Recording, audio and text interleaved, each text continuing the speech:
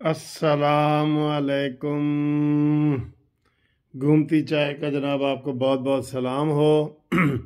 उम्मीद है आप खैरियत से होंगे। सोमवार का दिन बड़ा दिन रात, बल्कि सोमवार की रात बड़ी अहम रात। और शेर जनाब बहुत खुश है और वो कह रहा है, जी साढ़ा ज़िक्र भी करो। शेर बहुत खुश है, शेर बहुत खुश है। ये देखें, ये शेर आज खुश लग रहा है ना आपको ये? हाँ जी, शेर बहुत खुश है। और सर जी, खबरें तो खबरें ही हैं, बहुत ज़्यादा खबरें हैं, आ रही हैं। अब हम देखते हैं कि क्या खबरें दें। कल मैंने एक वीडियो लाग बनाई थी कि इमरान खान ने मेडिकल के जो इंस्ट्रूमेंट वगैरह, आलात और ये अस्पतालों में जो चीज़ें होती हैं ना, उसके ऊपर सतारह फ़ीसद जो है ना, वो टैक्स लगा दिया मेडिकल के मरीज़ों के बोतलों पे, टीकों पे, इन चीज़ों के ऊपर। यार, बड़ी ढीठ हुकूमत है, कसम खुदा की, बहुत। ये नहीं शर्माते, पेट्रोल बारह रुपए महँगा, बिजली इतने रुपए महँगी, गैस महँगी, हर चीज़। और कोई स्टाफ नहीं है। स्टाफ क्या हो? आईएमएफ के पास तो हमारे सारे कर्जे पड़े हैं। अब तो बैंक में जो हमारे आईएमएफ स्टेट बैंक में पैसे पड़े हैं, वो भी आईएमएफ के पास पड़े हैं। ये लग पता जाएगा, जब हम दिवाली होंगे तो उन्होंने कहना जी, सारी चीज़ें साड़ियाँ ने ये उस वक्त हमें पता चलेगा कि यार, ए, न्याजी ने कितना व्डा जड़ा ना साढ़े नाल धोखा किया है। अच्छा जी, आज की जो गर्म खबरें हैं, वो आपको बताते हैं और घूमती चाय भी आपको दिखाते हैं। पहले घूमती चाय देखें। और शेर तो आपने देख ही लिया है। घूमती चाय क्या कर रही है, ये देखें। हाय हाय हाय हाय घूमती चाय न्याजी भगाए मज़ा भी आए। कड्डो जी अपन अपन चाव कड्डो कड्डो कड्डो। कड्डो जनाब, चाव कड्डो। अच्छा जी, मीडिया वाले सारे रगड़ रहे हैं जनाब, उनके ऊपर जो वो तीन साल का और पाँच साल की सज़ा और कोई मुराद सईद का नाम नहीं ले सकता कोई बुशरा का नाम नहीं ले सकता नाम लेने पे भी मैं भी ना तो ले लिया को मेरे तो ही ना केस बन जाए खैर है कोई गल नहीं ਤੁਸੀਂ ਜ਼ਰਾ ਪਿੱਛੋਂ ਜਾਗਦੇ ਰਹਿਣਾ ਠੀਕ ਹੈ वैसे तो मशहूर है कि जी साढ़े तो ना रहना जागते ही रहना बाहर जो चौकीदार नारे लगाते हैं ना उसके बारे में मशहूर है कि जी जागते रहना साढ़े तो ना रहना तो गिरफ्तारी हो गई तो कोई पिछो शोर शोर शोर मोर करोगे कि नहीं करोगे ठीक है आ गई आवाज़ थोड़ी करोगे बिस्मिल्लाह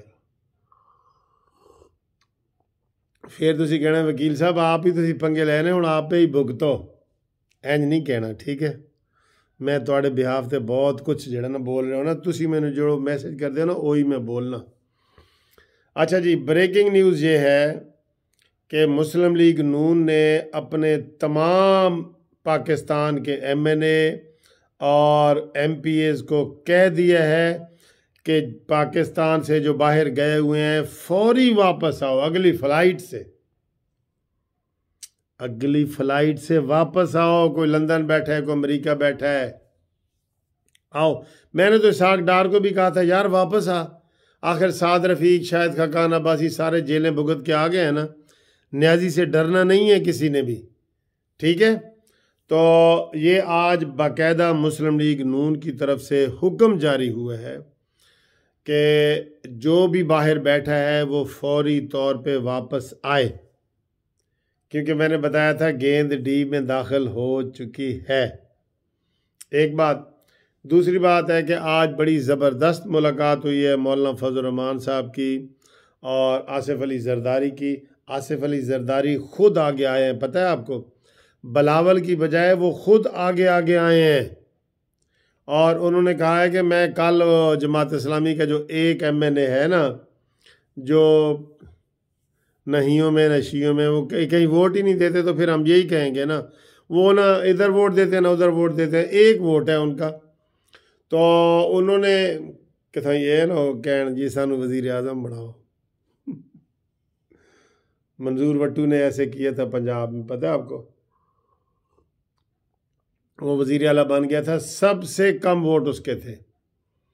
अच्छा जी तो वो आसिफ अली जरदारी साहब बीमारी के बावजूद जो है, वो मिलेंगे, मुलाकात करेंगे सिराजुल हक से, और उनसे रिक्वेस्ट करेंगे कि, जी तुम वोट सानू दो इस दफ़ा गैर जानबदार नहीं रहना, तुसी जानबदार ही रहना ठीक है?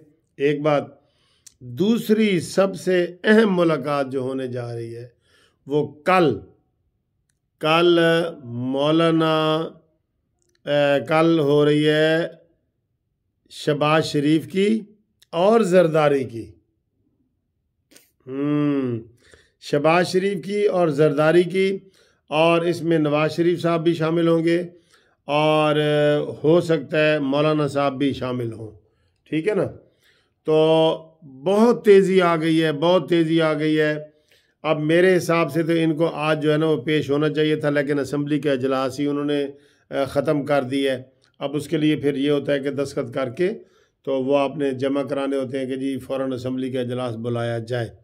और इनका ड्रामा ये था, इसलिए इन्होंने एक तो इजलास नहीं बुलाया ये अदम अतमाद के डर से, दूसरा उन्होंने दो आर्डीनेंस लाने थे। क्योंकि असम्बली का अजलास हो रहा हो तो आर्डीनेंस नहीं ना आते। ये जो ड्रामे वाले आर्डीनेंस आए हैं ना फेक न्यूज़ वाले और ये इलेक्शन कमीशन की धांधली वाले इलेक्शन कमीशन भी हरकत में आ गया है।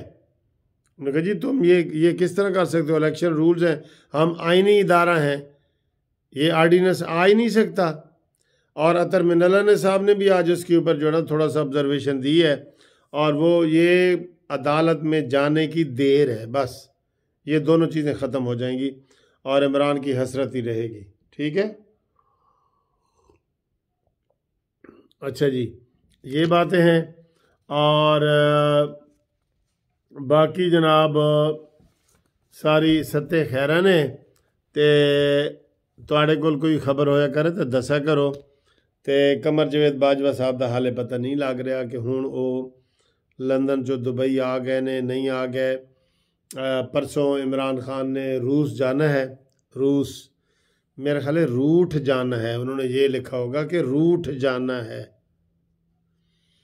तो आप पता नहीं वहाँ से, रशिया से ये वापस आता है कि नहीं आता, मैनू नहीं पता। परवेज़ मुशरफ नाल यही होया सी। याद है ना जदों श्रीलंका गया था तो नवाज़ शरीफ साहब ने पीछे से उसको फारग कर दिया था और फिर लड़ाई हुई और फिर मार्शल आ गया।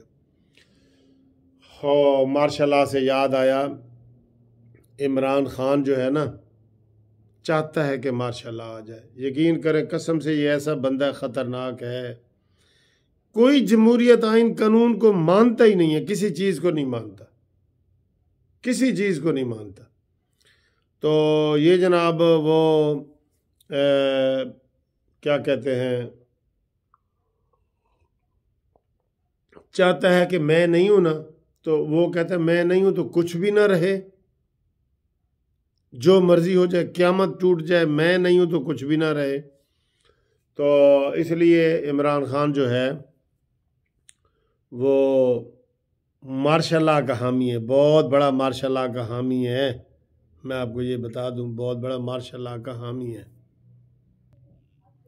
आ, बाकी सर जी वो एक ख़तरनाक बात यह है कि जैसे आप सुन रहे हैं ना कि कराची में डकैतियाँ इतनी ज़्यादा हो गई हैं, चोरियाँ इतनी ज़्यादा हो गई हैं, वारदातें इतनी ज़्यादा हो गई हैं कि हर शहरी परेशान हो गया, हर शहरी। और वही हाल अब ये मैंने एक लाहौर वाले सिटी फोर्टी टू जी चैनल पे देख रहा था कि लाहौर में 24 घंटे में बहुत वारदातें हुई हैं। जो घर से निकल रहा वारदात, घर के अंदर भी वारदात, बाहर भी वारदात, और इसमें बेतहाशा इजाफा हुआ है। हुकूमत इस वक्त बिल्कुल अपनी कुर्सी के पावा ऐसे पकड़ के बैठी है कि जनाब, ये उससे छूट ना जाए और सारी पुलिस जो है ना, उनके घरों पे लगी हुई है, उनके इर्द गिर्द लगी हुई है। किसी वक्त भी कुछ हो सकता है। तो लिहाजा जो वो लोग थे, जिन्होंने अपना अमन अमान को कंट्रोल करना था, चोरों डाकुओं को करना था, वो हुकूमत के ईवान में बैठ गए हैं और वो हुकूमत का तहफ़ कर रहे हैं। तो हालात बहुत ज़्यादा ख़तरनाक हो चुके हैं। हाँ एक और बात भी तो मैं भूल रहा था। और जनाब, शबाज शरीफ और परवेज़ इलाही की भी मुलाकात हुई है खुफिया, इन दो दिनों में। और परवेज़ इलाही वगैरह ने कह दिया, मैंने पहले कह दिया था कि अगर वो परवेज़ इलाही वगैरह और एम वाले दो ये देखेंगे कि जनाब जहांगीर तरीन वाला ग्रुप इधर आ गया है तो इन्होंने तभी गोल मोल रखा हुआ था ना, ये फ़ौर इधर आ जाएँगे, कोई मसला नहीं होगा। और अस्टेब्लिशमेंट के ऊपर भी दबाव डाल दिया है मुस्लिम लीग नून ने, और उन्होंने कहा जी कि हम नाम भी बता देंगे, किसको किसने फ़ोन किया है। ये बहुत बड़ी बात है, किसको किसने फ़ोन किया है, इसलिए बाज रहें और अपने टेलीफोन का स्विच ऑफ़ कर दें और बंद कर दें टेलीफोन अपना। मोबाइल पावर ऑफ़ पे लगा दें जनाब। पिशावर वालों ठीक है? तो ये जनाब सारी बड़ी आज ख़बरों से भरी हुई आपको मैंने वीडियो बनाई है। तो उम्मीद है इंशाल्लाह आपको ये पसंद आई होगी। तो बाकी जो दूसरी वीडियो वगैरह पीछे चली गई हैं, ये अदम अतमाद ही आया हुआ है हर तरफ़। ठीक है जी? ओके, अल्लाह हाफिज़।